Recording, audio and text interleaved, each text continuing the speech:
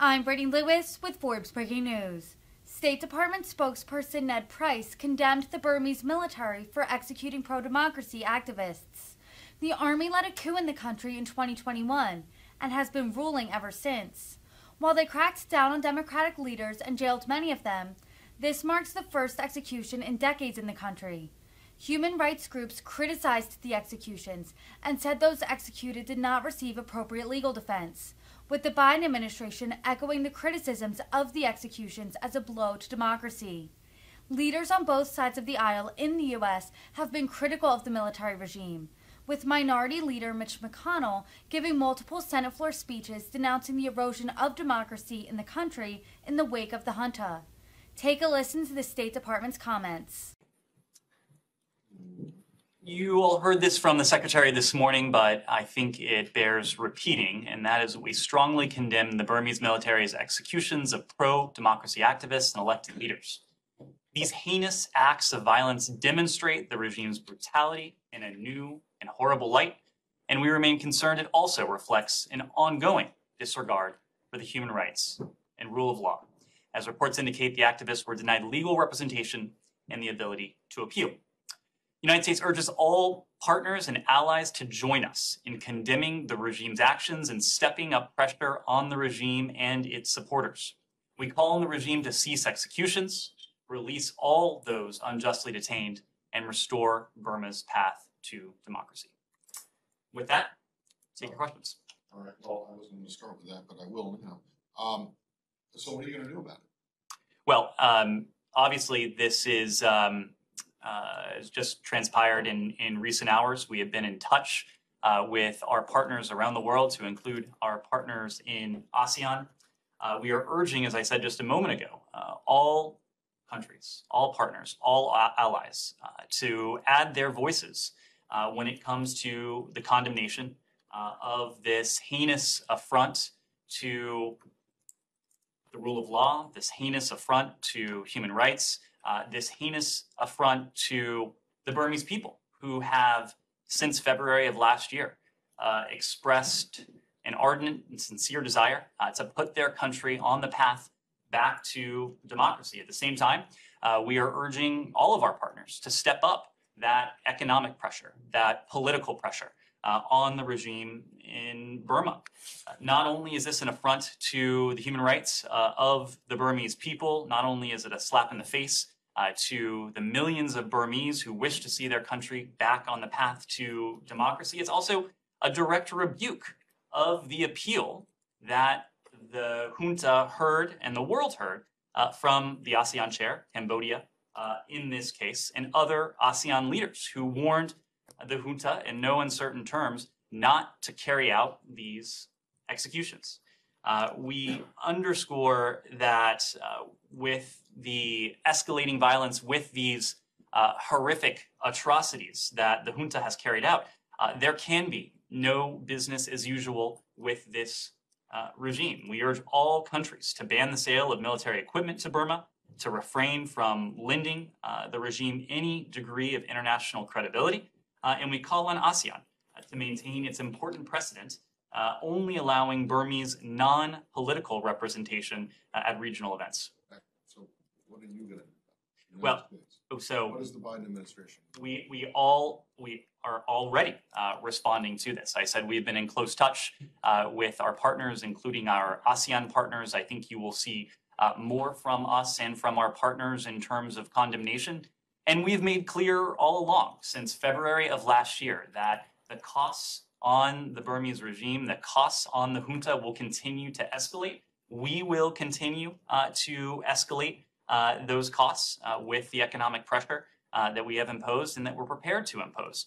Uh, we, of course, don't preview uh, our own sanctions, but all options that serve to cut off the regime's revenue, which it uses to perpetrate this violence, it's on the table. we, when considering any such actions, we're, of course, looking to any potential humanitarian implications for the people of Burma who have already suffered far too much for far too long uh, since this junta came to power. But again, all options are on the table. We're going to work with uh, our partners uh, to see to it that Uh, the steps we take going forward are coordinated so that they have maximum effect on the regime. But do you, do you think that condemnation, uh, which you've just called for again, and which you've asked for all your partners and allies to join in, is, and is enough? It's not enough. It is, it is not enough, and it's certainly not the totality of our response. Uh, our response, uh, include, includes, uh, the statements that you've heard, the statements that, uh, you will hear, uh, from the United States and our, and our partners, but, uh, the economic measures, the political measures, the diplomatic, uh, measures, uh, and the very clear call, uh, that we have put out to partners around the world, that it cannot be business as usual with the junta. Just to follow up on that, uh, you um you're urging partners to step up. I think, you know, a lot of activists, a lot of Myanmar people have been asking for you, for the US government to step up uh, in terms of its response for a long time in that, you know, you've done a lot of sanctions, but you haven't done any sanctions that target the, the gas uh, exports that are, you know, the main source of foreign revenue for uh, the junta. So, you know, why why haven't you taken any action on that if you're, you know, asking for not to be business as, as usual for for you know, the junta? You know, why haven't you taken any action on on, the, on these gas revenues, and, and will you do that now?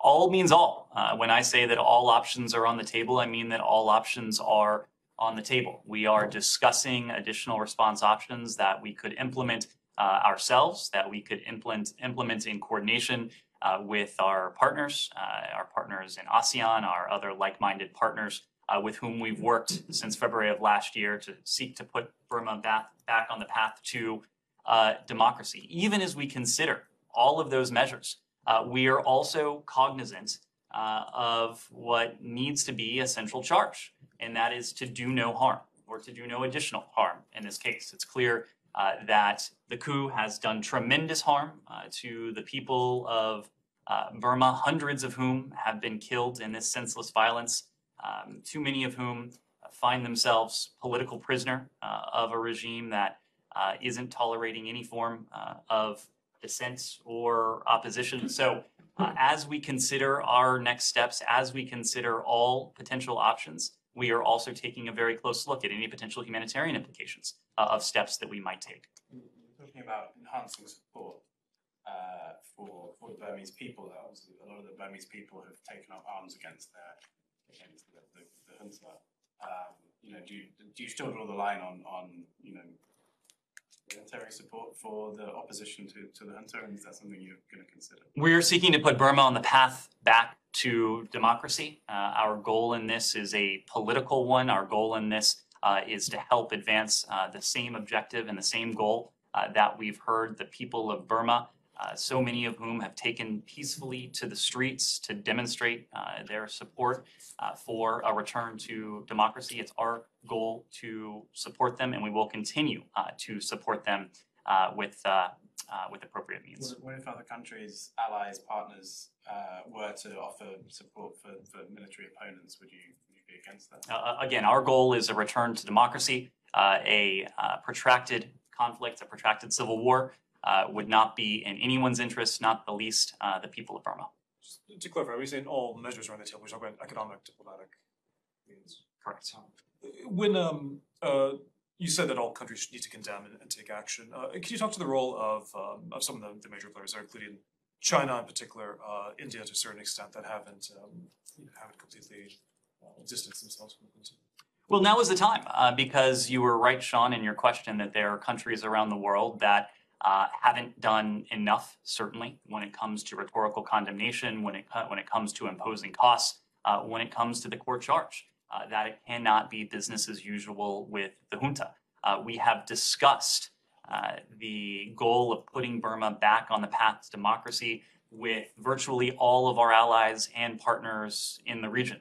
Uh, there are some countries in the region, you named a couple of them, where we have had in-depth discussions. When uh, the secretary met with Wang Yi uh, not all that long ago, uh, Burma was a topic of discussion. We've discussed it uh, with other senior PRC officials. Arguably, no country uh, has the potential to influence the trajectory of Burma's next steps more so than the PRC. And we've called on all countries to act responsibly, to use their influence in a way that is constructive, to use their influence in a way uh, that works for the interests of the Burmese people, uh, and then ultimately uh, puts Burma back on the path uh, to democracy.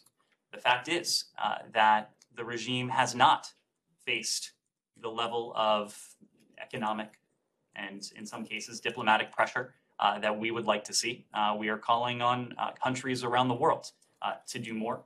We will be doing more as well. Can we go to